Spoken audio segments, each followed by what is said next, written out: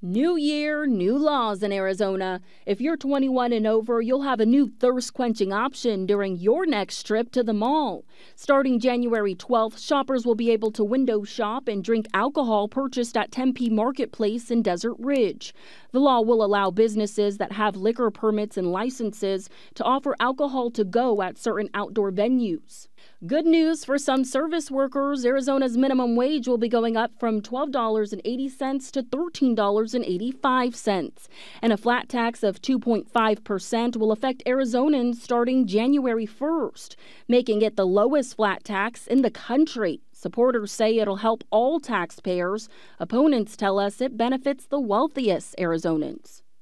Ever been arrested, found not guilty of a crime, or served your criminal sentence? Another new law that'll take effect in 2023 will allow you to seal or expunge your criminal record.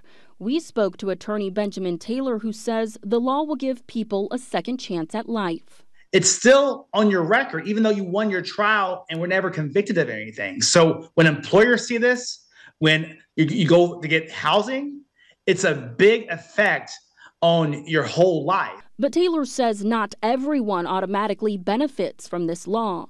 Ultimately, once a person applies, they still have to go in front of a judge, and the judge will make the ultimate decision.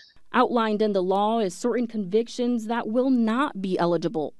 I mean, extreme violent offenses like murders, sexual assault cases, there it's very hard for a judge to seal those.